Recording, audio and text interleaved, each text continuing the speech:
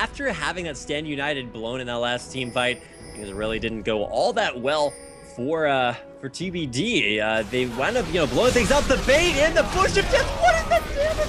I apologize. My vocal cords kind of went the same way of to be determined. The wombo combo, Bush of Death successful.